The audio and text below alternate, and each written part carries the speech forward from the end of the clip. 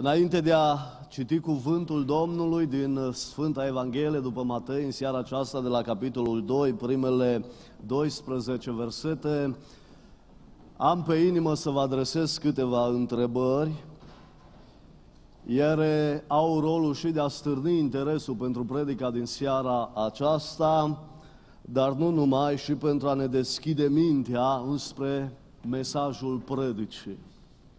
Câți dintre dumneavoastră ați auzit de Irot? Puteți să-mi faceți un semn cu mâna. Ați auzit. L-a cunoscut cineva pe Irod în mod personal? L-ați întâlnit vreodată față în față pe Irod? Vreau să vă spun ceva. N-ați pierdut absolut nimic. Că nu v-ați întâlnit față în față cu Irod și nu l-ați cunoscut. Hai să vă mai întreb ceva. Ați auzit despre magii care au venit undeva din depărtare la Ierusalim și apoi au mers la Betlehem? Ați auzit? I-a cunoscut cineva față în față? Ce să vă zic? Poate ne-ar fi plăcut să-i cunoaștem după ce s-au întâlnit cu Isus. Măcar să stăm așa 5 minute cu ei de vorbă, dar vă zic ceva în seara asta. N-am pierdut prea mult că nu ne-am întâlnit față în față cu ei. Cred că într-o zi ne vom întâlni în împărăția lui Dumnezeu. Dar acum vă întreb despre Isus Hristos, ați auzit? Ați avut ocazia prin credință să-L întâlniți, să-L cunoașteți pe Isus? Acum dăm voie să spun ceva în seara asta, înainte de a citi din Scriptură. Dacă doar ai auzit despre Isus Hristos și nu te-ai întâlnit personal cu El și nu-L cunoști printr-o relație vie, adevărată și personală pe Isus. Ascultă-mă bine seara asta. Ai pierdut cu adevărat esența acestor sărbători. Citim un pasaj în seara aceasta în care este vorba despre niște magi. N-avem de unde să știm că au fost trei mai puțin sau mai mulți, oricum au fost la plural. Nu ni se spune în Scriptură câți au fost. Vom citi despre Irod în seara aceasta, care a fost un împărat. A condus mulți oameni. Dar dați-mi voie să vă spun ceva. Centru care dă greutate textului în seara asta și întâlnirii noastre este Isus Hristos. Slavă lui pe El va trebui să-L căutăm în seara asta, mai departe în închinarea noastră, sub autoritatea Lui să ne supunem și Lui să-i spunem, Doamne, vorbește-ne încă o dată în seara aceasta, că avem nevoie de prezența Ta în viața noastră. Acum haide să dăm ascultare acestor cuvinte din Sfânta Evanghelie de la Matei, capitolul 2, începând cu versetul 1. Cu luarea minte să ascultăm cuvântul acesta. După ce s-a născut Isus în Betleemul din Iudeea, în zilele împăratului Rot, iată că au venit niște magi din răsări la Ierusalim, o călătorie de aproximativ o mie de kilometri, și au întrebat, unde este împăratul de curând născut al iudeilor? Fiindcă i-am văzut steaua, am răsărit și am venit să ne închinăm lui. Când au auzit împăratul Irod acest lucru, s-a tulburat mult și tot Ierusalimul s-a tulburat împreună cu el. A adunat pe toți preoții cei mai de seamă și pe cărturarii norodului și a căutat să afle de la ei unde trebuia să se nască Hristosul. Apropo, oameni buni, de foarte multe ori în Scriptură întâlnim cuvântul acesta trebuie, care în spatele lui are o necesitate. Irot a fost preocupat de întrebarea aceasta, unde, auziți, trebuia să se nască Hristos. De ce trebuia? Păi dacă nu se întrupa Iisus, noi nu eram în seara asta aici. Noi nu aveam parte de mântuirea sufletului nostru. Viața noastră era una pierdută, dar auziți, trebuia să se nască Hristosul. Continuăm citirea de la versetul 5. În Betleemul din Iudeia i-au răspuns ei, căci iată ce a fost scris prin prorocul, și tu, Betleeme, țara lui Iuda, nu ești nici de cum cea mai neînsemnată dintre căpetenile lui Iuda, căci din tine va ieși o căpetenie care va fi păstorul poporului meu Israel. Atunci Rod a chemat în ascuns pe mat și a aflat în tocmai de la ei vremea în care se arătase steaua. Apoi a trimis la Betleem și le-a zis, duceți-vă de cercetați cu deamăruntul despre prunc și când îl veți găsi, dați-mi și mie de știre ca să vin și eu să mă închin lui. După ce au ascultat pe împăratul, magii au plecat.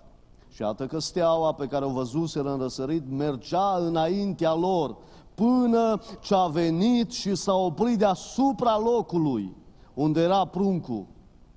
Când au văzut ei steaua, auziți, n-au mai putut de bucurie. Au intrat în casă, au văzut pruncul cu Maria, mama lui, s-au aruncat cu fața la pământ și fiți atenți cui s-au închinat magi. Vedeți cui? Și I, cui mare, I s-au închinat. Apoi și-au deschis visteriile și observați cu i-au adus daruri, s-au închinat magii Mariei, mamei Domnului Isus, i-au adus magii daruri Mariei, mamei Domnului Isus. Observați, ei s-au închinat unuia singur, lui Isus Hristos. Și lui au adus daruri. Și au zis ce fel de daruri. Aur, tămâie și zmirnă. În urmă au fost înștiințați de Dumnezeu în vis. Se pare că au poposit noaptea acolo, că e grav dacă ești treaz, e sănătos în toate facultățile mentale și visezi. Cred că oamenii ăștia au înoptat acolo și în vis. Dumnezeu i-a înștiințat să nu mai dea pe la Irod și s-au întors în țara lor pe, pe un alt drum. Fiindcă drumul lui Dumnezeu, calea lui Dumnezeu, e diferită de calea lui Rot. Mi-aș dori în seara aceasta Dumnezeu să folosească acest cuvânt să ne vorbească prin el. Și sufletele noastre să fie întărite în credința în Domnul Isus Hristos, Amin. Acum vă invit cu respect să vă reașezați.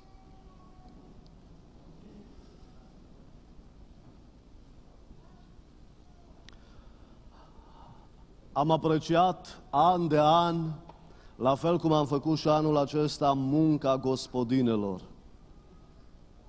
Să știți că se face foarte multă muncă în preajma sărbătorilor de iarnă, este multă implicare, iar gospodinele încearcă să gătească cele mai alese mâncăruri, cele mai gustoase și cele mai bune. Și sunt de apreciat pentru asta. Însă dați-mi voi să vă spun tuturor ceva în seara aceasta. Munca cea mai grea cu ocazia întrupării Domnului Iisus Hristos nu este a gospodinelor, care cu ingrediente diferite, an de an fac cam aceleași feluri de mâncare. Da, într-adevăr, bune, gustoase, de apreciat, dar cam în fiecare an aceleași feluri de mâncare.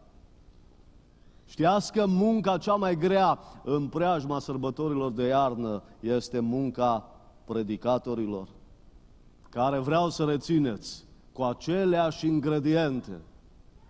Mă refer la aceleași pasaje biblice an de an, trebuie să dea o mâncare diferită poporului lui Dumnezeu. Și mă rog în această seară Duhul lui Dumnezeu să lase călăuzire peste mesajul proclamat. Sunt sigur că Majoritatea dintre dumneavoastră cunoașteți întâmplarea aceasta cu magii din Matei, capitolul 2. Unii o știți aproape pe din afară, la fel ca rugăciunea domnească Tatăl nostru.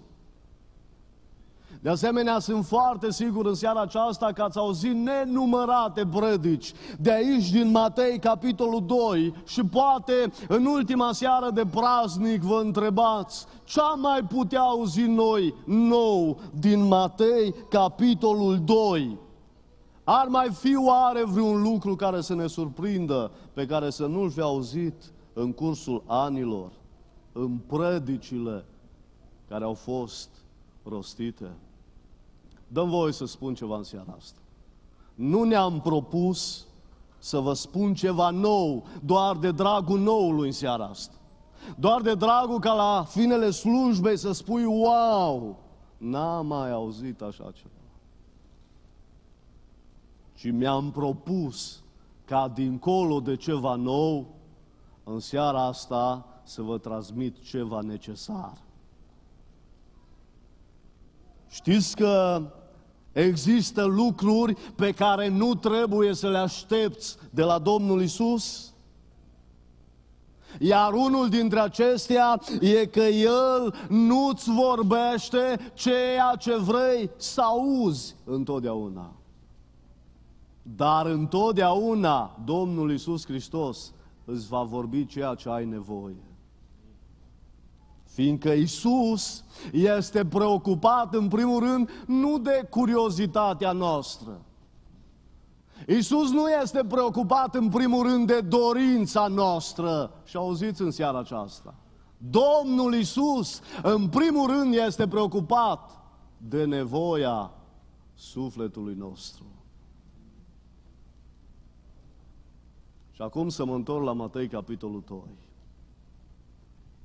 primul lucru care mi-a sărit în ochi anul acesta, când am citit Matei capitolul 2, deși de multe ori am citit paragraful acesta în Biblie, dar primul lucru care mi-a sărit în ochi anul acesta e exact propoziția de început a textului.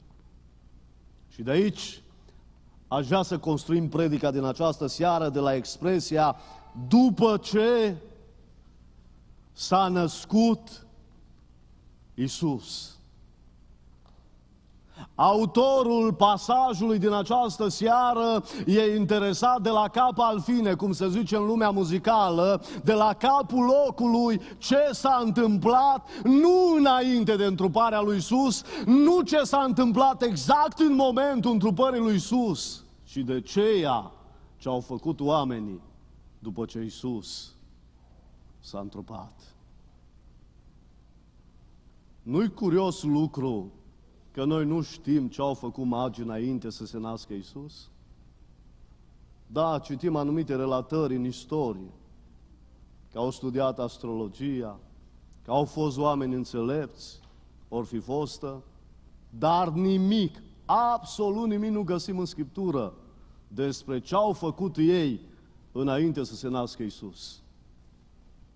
Nu-i curios lucru că exact în momentul întrupării Domnului Iisus Hristos, noi nu știm ce au făcut oamenii aceștia ziși înțelepți. Dar e de remarcat un detaliu în seara asta. Noi știm și nu putem fugi de această realitate. Ce au făcut ei după ce s-a născut Isus. Și în seara aceasta voi veni înaintea dumneavoastră cu un mesaj intitulat Ce fac în urma nașterii lui Isus?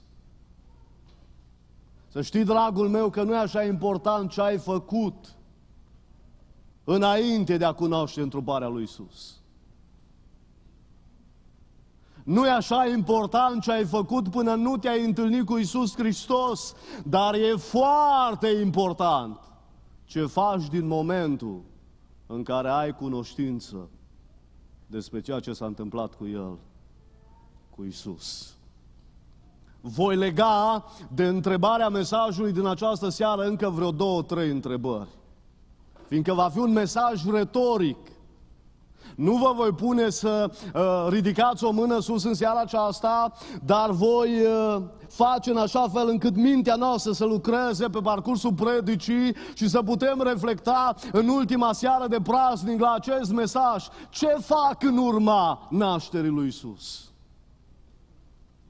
Și prima întrebare legată de titlul predicii din această seară.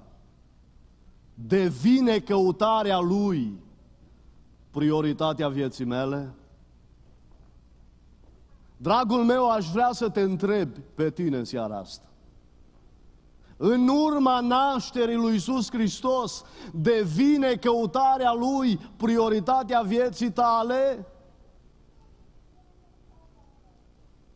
Vedeți, nu știm care a fost prioritatea magilor înainte de a se naște Isus.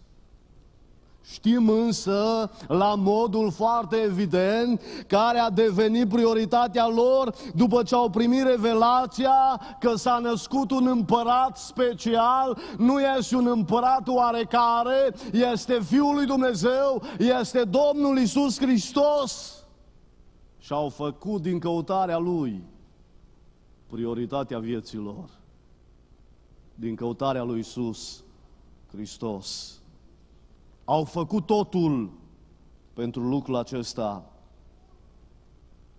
Dragul meu, dumneata de când ai aflat că s-a întrupat Isus, că El s-a născut în lumea noastră, ai făcut din căutarea Lui prioritatea vieții tale, a devenit El centru de greutate a sărbătorii, a vieții tale, a familiei tale. În alți termeni, este el importantul? Să știți că atunci când vorbim de căutarea lui Isus, dintr-o dată, parcă pe nepusă masă, ne întâlnim cu trei categorii de oameni foarte diferite, menționate în textul nostru din această seară. Prima categorie de oameni sunt aceia care cunosc despre Isus, dar rețineți, nu-L caută pe Isus. Informație, cu alte cuvinte, fără interes, fără preocupare, informare, fără transformare. Oameni care știu despre Isus, au informații despre Mântuitorul, dar nu îl caută pe Isus.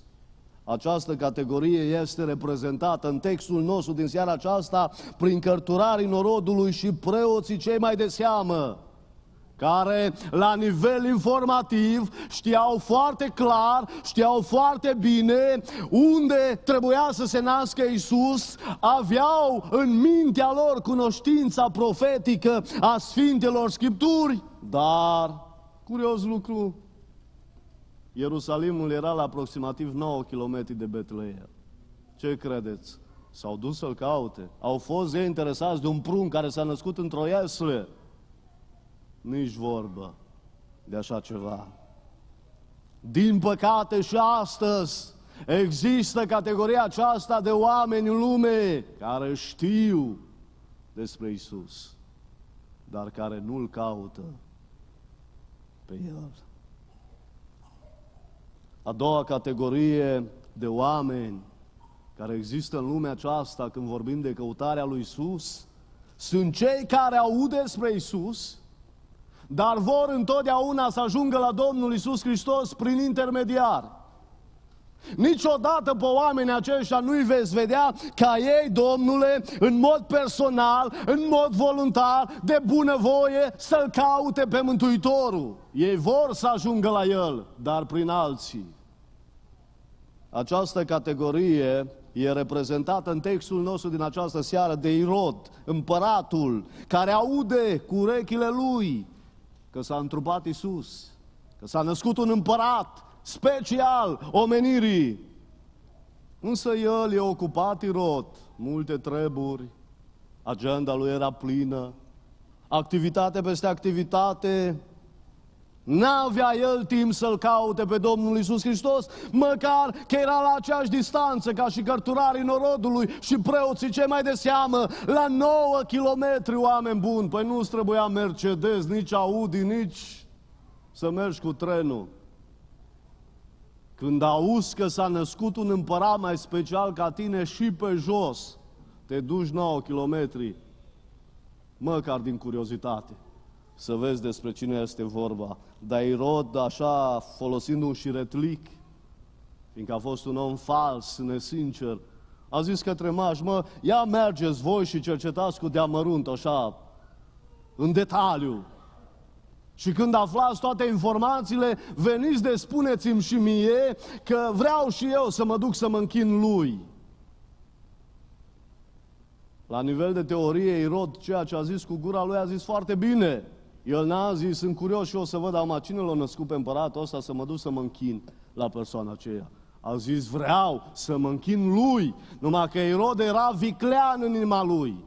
Ar fi vrut și el să meargă să-l vadă pe împăratul acesta ca să-l omoare. Că a dat ordin mai târziu să fie omorâți și au murit nu puțin prunci, până la vârsta de 2 ani, au fost desfințați. Au fost distruși, au fost omorâți. Atâția micuți din cauza unui rod foarte crud. Dar există și categoria fericită a oamenilor care îl caută pe Mântuitorul Isus, oameni care din inițiativă personală îl caută pe El. Această categorie e reprezentată în textul nostru din această seară prin exemplu magilor. Oameni care n-au fost plătiți de alții să meargă să-L caute pe Isus. Oameni care nu s-au uitat, Domnule, avem ceva de câștigat sau pierdem. Dacă noi acum ne punem timp la dispoziție, haine, mâncare, cheltuim energie, avem de străbătut mia asta de kilometri. Nu, nu. Magii, în mod voluntar, cu perseverență, fără să se dea bătuți, avea o pasiune lăuntrică și un scop foarte bine determinat să-L vadă și mai mult decât atât, să-i se închine lui Isus. A fost o căutare costisitoare. Au plătit un preț, dar s-a meritat. Dragul meu, la fel cum magii l-au căutat ei pe Iisus și nu alții în locul lor. Tu știi că de bunăvoie, tot la fel, trebuie să-L cauți și tu pe Iisus? Nu-i lăsa pe alții să-L caute pe Iisus în locul tău. Că îl vor găsi pentru ei, dar nu pentru tine. Ei vor reuși să-L caute pe Iisus strict pentru ei. Hai să vă întreb ceva în această seară și lăsați-mă să fiu cât se poate de transparent, de sincer cu dumneavoastră. Vi s-a făcut vreodată foame, în adevăratul sens al cuvântului? I-ați lăsat pe alții să mănânce în locul dumneavoastră și v-a săturat? Ați fost vreodată undeva la munca câmpului, ați luat sapa și ați dat la sapă sau la coasă sau ați muncit ceva greu și vi s-a făcut sete. S-a dus altcineva în locul dumitale să bea apă și ți s-a stâmpărat setea, ție. Păi nu-i logic și este o logică cât se poate de coerentă. Omului când este foame mănâncă, când îi se face sete își pune apă în pahar și bea pentru el însuși. Pe cum am putea noi să credem, spiritual vorbind, că dacă alții îl caută pe Iisus și fac ceea ce trebuie, îl vom găsi noi pe Domnul. Căutarea Domnului Iisus Hristos trebuie să fie din inițiativă personală, de bună voie, în mod voluntar. Dar trebuie să fie și prioritatea vieții noastre. Ce fac în urma nașterii lui Isus? Devine El, asta e prima întrebare a mesajului din seara asta. Devine El prioritatea vieții mele? Vreau să spun ceva în seara asta. Bucuria Crăciunului de anul acesta a depins în totalitate de căutările tale. Ai căutat și în 2021 lucruri trecătoare, ascultă-mă bine, vei rămâne cu ele. L-ai căutat pe Isus. Știi cu cine vei rămâne? Cu Isus. Amin. Amin. Să nu uiți un lucru, căutarea Domnului Isus Hristos este singura căutare care aduce bucuria adevărată în sufletul omului. Restul sunt căutări vremelnice, pieritoare, cum vin, așa și dispar. Dar cine îl caută pe Iisus Hristos cu adevărat și sincer, va rămâne cu El în suflet și în inima și va fi bucuria vieții Lui. Ce faci în urma nașterii lui Isus? Devine El prioritatea vieții tale pentru magii din răsărit. După ce au aflat vestea că s-a născut acest mare și însemnat împărat, prioritatea vieții lor a devenit căutarea lui Isus. Mers spre a doua întrebare a pasajului în seara aceasta. Dar înainte de a face lucrul acesta, dați-mi voie să vă spun un lucru care m-a marcat foarte mult în săptămâna care s-a scurs. Am avut o discuție telefonică cu fratele păstor Marius Ian, care a trecut prin boala aceasta în urmă cu câteva săptămâni a COVID-ului, l-a prins și pe el Delta și pe soția lui. Mi-a zis, frate Iosif, am vreo 30 de ani de slujire, am crezut de multe ori că am slujit lui Dumnezeu cu toată inima, că am fost pasionat de El, de cuvântul Lui. Și a trebuit să mă aducă Dumnezeu în ser când stăteam în cameră, până noaptea târziu, plângeam, mă rugam, ziceam, am citit Biblia cu lacrimi. Am fost la un pas să trec din lumea asta în lumea de dincolo. Mă uitam, zice, la soția mea cum se zbătea între viață și moarte. Și mi-a zis, frate Iosif, m-a adus Dumnezeu până în punctul acela să înțeleg că tot ce în lumea asta nu contează. Un singur lucru contează cu adevărat. Să-L ai pe Iisus în inimă și să faci din El prioritatea vieții tale. A zis când eram la un pas de moarte, nu m-a mai interesat în ce casă stau, ce mașină conduc, ce funcție am. Nimic din toate acestea. M-a interesat un singur lucru, dacă l-am pe Iisus în suflet ca mântuitor și Domn. Și a zis, îmi doresc și a revenit din boala aceasta, e spre bine, nu chiar 100% recuperat, dar mi-a zis, de acum înainte, pentru un singur cel vreau să trăiesc. Pentru Isus. Ce faci în urma nașterii lui Isus? Este El prioritatea vieții tale? Faci din căutarea Lui prioritatea vieții tale? A doua întrebare în seara asta. Ce faci în urma nașterii lui Isus? În al doilea rând, este scopul căutării mele și a tale închinarea înaintea Lui? Observați cu ce scop l-au căutat magii aceștia din răsărit și au venit distanța asta lungă până la Ierusalim și apoi la Betleem. Zic ei în versetul 2, partea B, am venit cu ce scop? Da, am auzit că s-a născut un împărat deosebit, e mai special ca toți împărații lumii și a vremii de atunci. Dar n-am venit numai să-L vedem față în față, ci am venit să... A, scopul căutării lor era închinarea înaintea Lui. Întrebarea e, scopul căutării mele este închinarea înaintea Lui?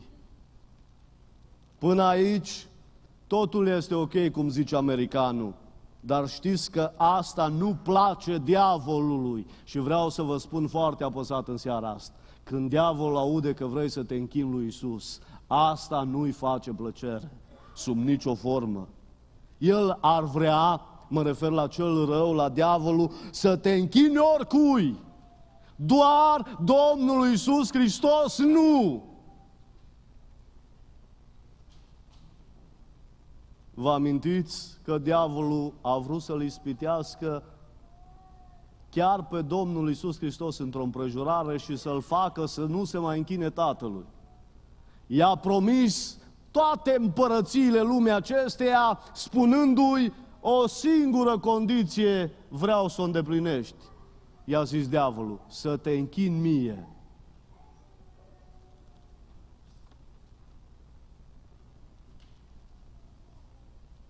Știți de ce oamenilor, vă spun ceva ce mi-a stârnit interesul în zilele acestea. Știți de ce oamenilor nu le place rugăciunea la pocăiți? Am întâlnit pe mulți, mă, cântarea extraordinară, mi-a plăcut predica, poeziile, au avut program extraordinar, copiii de sărbători, adulții, cei în vârstă, tot a fost extraordinar. Dar au pe mulți spunând, domnule, nu-mi place rugăciunea la pocăiți.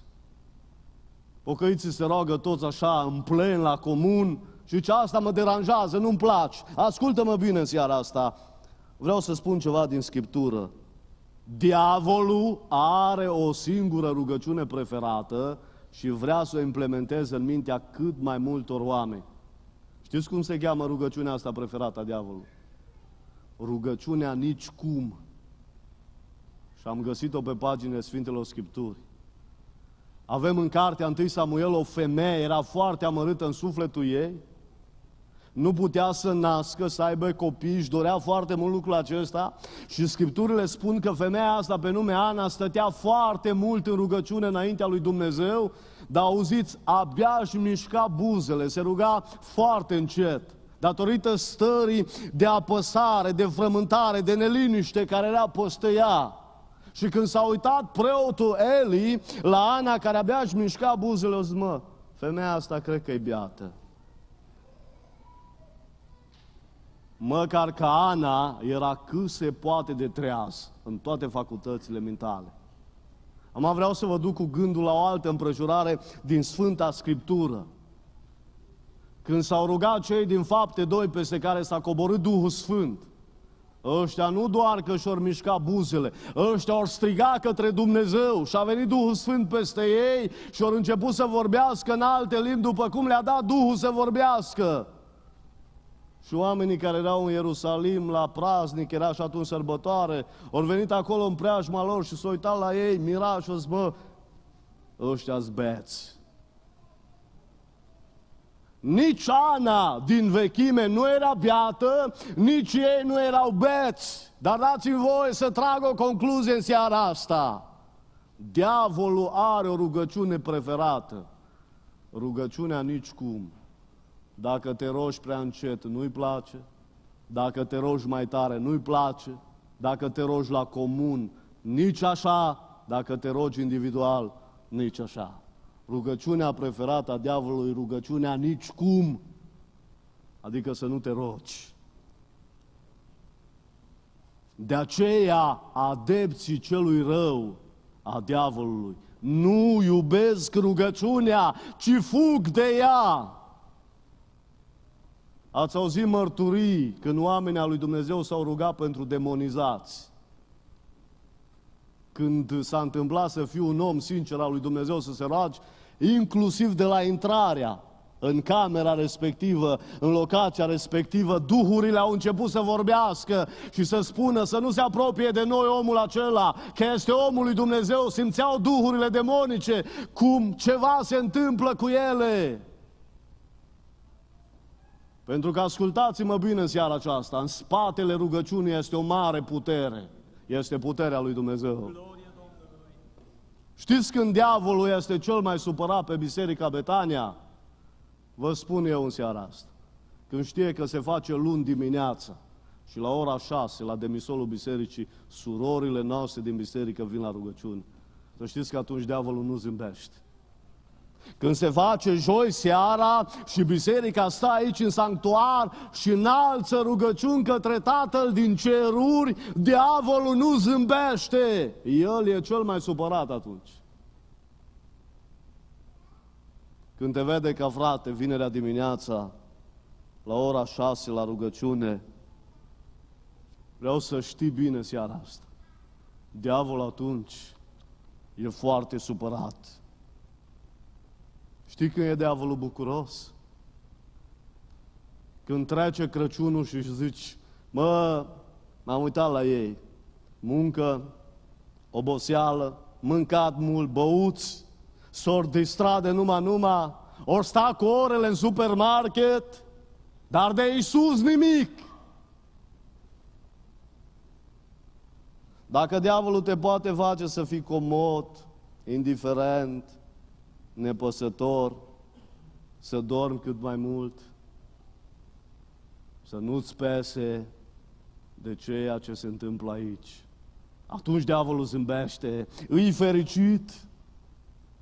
Când te determină să-ți închizi telefonul dimineața, să nu auzi alarma că sună.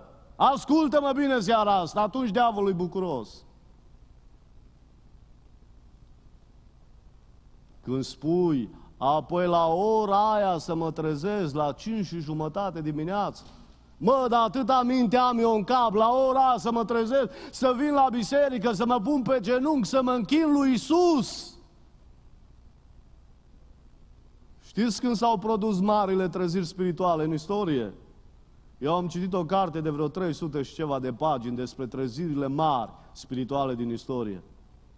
Toate, nu unele dintre ele, toate, s-au produs prin oameni ai rugăciunii care dimineața pe la ora 4, pe la ora 4 și jumătate, la ora 5 se trezeau și stăteau o oră, alții două ore, alții trei ore în rugăciune și se rugau lui Dumnezeu încât iadul cu toți demonii din el, cu cel rău, era înspăimântat de puterea care există în spatele rugăciunii. Martin Luther avea o vorbă, v-am mai spus eu la o seară de rugăciune. Spunea el în fiecare dimineață când mă trezesc, realizez că sunt așa de ocupat și vă citesc, că nu pot să-mi încep o zi fără trei ore de rugăciune. Și credeți-mă, marele reformator a fost un om ocupat, cu o viață ocupată. Dar a zis, nu pot să încep o zi fără trei ore de rugăciune, așa de ocupat sunt. Și acum vă întreb, l-a folosit Dumnezeu? L-a folosit. Tu poți să iei o decizie în seara asta de a-l face pe diavolul să fie supărat pe tine sau să-l faci să zâmbească să râdă, să fie diavolul vesel și să zică, mă, așa îmi deplace de el sau de ea, de starea de comoditate, de pasivitate, de nepăsare, de indiferență, sau să zică diavolul, wow, nu mai pot să răgnească, să nu mai poată de supărare. De ce? Pentru că tu nu vrei să ai o relație cu El, tu vrei să ai o relație cu Isus. Iar relația cu Isus nu se poate menține, întreține, păstra decât prin a vorbi cu El, cu Domnul.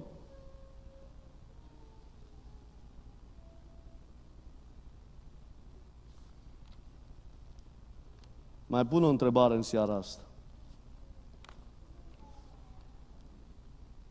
Ce faci în urma nașterii lui Isus?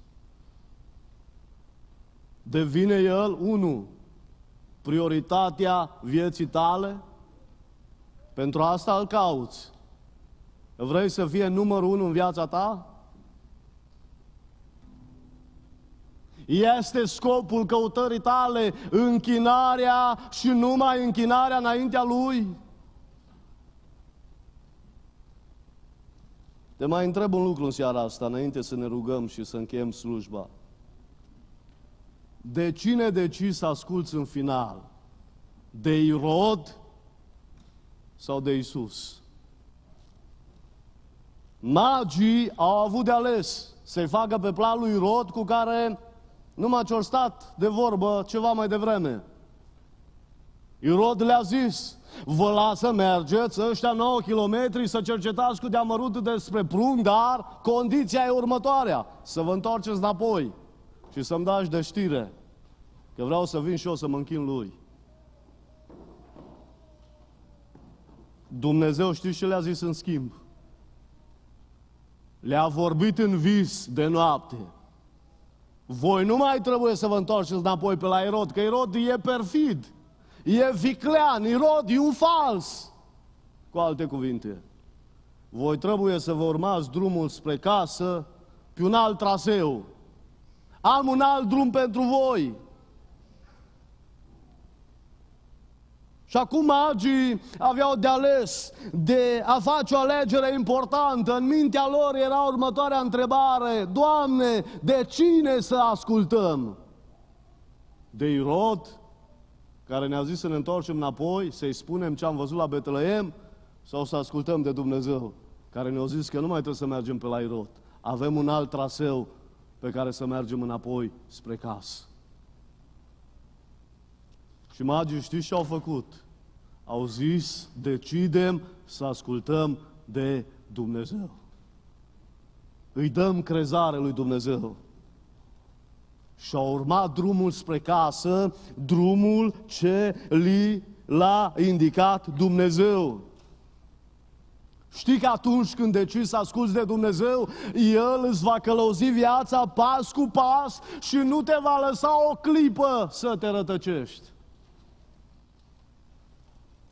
El va interveni exact la momentul când ai cel mai mult nevoie și îți va spune pe unde trebuie să mergi și ce trebuie să faci. Pe maci i-a călăuzit printr-o stea, le-a vorbit prin oameni, cărturarii norodului, preoții ce mai de seamă, le-a vorbit prin Scriptură și Dumnezeu nu i-a lăsat să bâșbâie. Dumnezeu le-a vorbit până și noaptea în vis. O călăuzire diversă, dar cu același scop, unul singur, cunoașterea lui Isus Hristos și ascultarea de El. Vedeți, oameni buni, drumul în viață de la religie ă, la relație cu Dumnezeu trece întotdeauna și întotdeauna pe la revelație. Niciun om nu se culcă seara necreștin și se trezește dimineața creștin. Seara nu a avut omul bine mersi relație cu Hristos și dimineața se trezește având o relație deosebită și specială cu Hristos. N-ai cum să ajungi de la religie la relație cu Dumnezeu decât prin revelație, prin descoperire dumnezeiască. Și se pune întrebarea în seara asta, ce faci dumneata? Când ai de ales între a asculta de irozii vremii noastre sau de Domnul Isus Hristos? Ce faci atunci când ai de ascultat între o autoritate pământească vremelnică sau autoritatea divină veșnică a Domnului Isus Hristos? Să știți că principiile lui Dumnezeu niciodată n-au intrat în conflict cu ceea ce ar trebui să se întâmple pe pământ. Din păcate, principiile oamenilor, hai să le zic cu ghilimele principii, de cele mai multe ori au intrat în conflict cu voia și cu principiile lui Dumnezeu. Să știți că n-a fost ușor pentru magi să decidă să asculte de Dumnezeu, nu de Irod. Josephus Flavius, în secolul I după Hristos, a scris două volume numai despre Irod. Și cu asta vreau să închei predica din seara asta. Știți că Irod a fost un foarte bun politician? Vă citesc ceva în seara asta. Joseph Flavius spune că Irod a fost un administrator iscusit, un politician versat, un prieten al Romei în vremea aceea. Auziți? Irod reconstruiește templul de la Ierusalim. Vă întreb un lucru mic sau un lucru mare? Irod uh, construiește orașul Cezarea de la zero. Irod, în vremea lui, construiește băi publice, stadion, fortărețe. Apropo, faimoasa Masada a fost construită de Irod. Însă Irod, chiar dacă a fost un administrator pământesc foarte bun și un politician foarte versat, știți câte neveste a avut Irod? Josephus Flavius, într-una din cărțile lui, consemnează lucrul acesta și spune că Irod a avut zece neveste. Și pe cea de care i-a plăcut cel mai mult de Miriam, așa era numele ei, într-o zi a ucis-o. Ba mai mult și-a ucis trei dintre copii.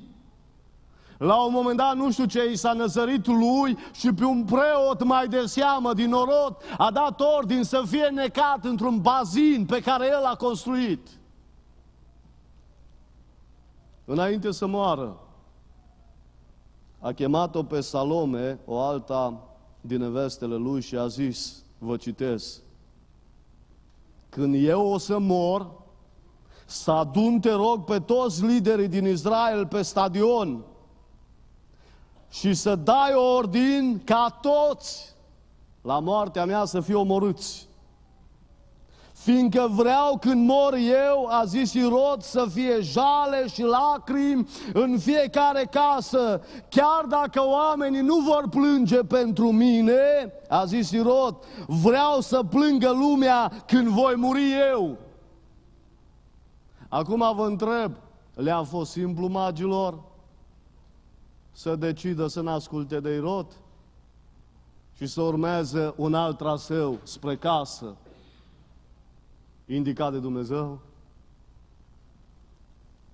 Va trebui să înțelegi că pentru a-L căuta pe Isus, pentru a asculta de Isus, pentru a vorbi cu Isus, pentru a intra într-o relație cu Isus Hristos, lucrul acesta implică plătirea unui preț. Irod putea să dea ordin urgent, într-un minut, ca magii care au venit din îndepărtarea asta de vreo mie de kilometri să fie omorâți. Păi dacă și-a omorât nevasta preferată, trei dintre copii, dacă a fost de o asemenea cruzime, putea la un ordin imediat să execute pe magii care au venit la Ierusalim să-L caute pe Isus. Să știți că la fel este și astăzi.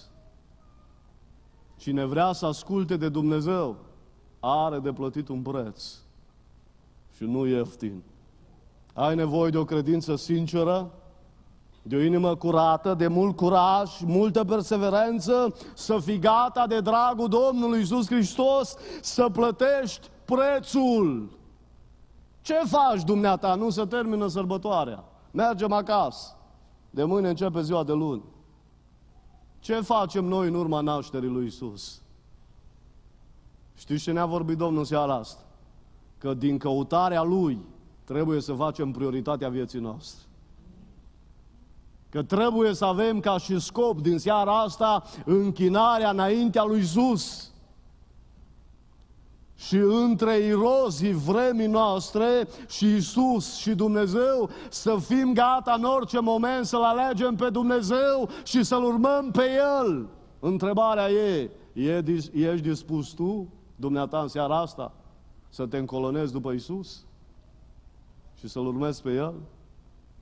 Haideți să facem o rugăciune acum la final de praznic și să-i spunem Domnului, Doamne, ajută-ne numai și numai pe Tine să Te urmăm. Dă-ne curaj, ajută-ne să fim perseverenți, să avem inimi sincere și, Doamne, din tot praznicul ăsta frumos, glorios, să plecăm cu Tine acasă în inimă seara asta. Și pe Tine să Te urmăm pentru restul zilelor vieții noastre. Ne ridicăm și ne rugăm cu tot poporul Domnului.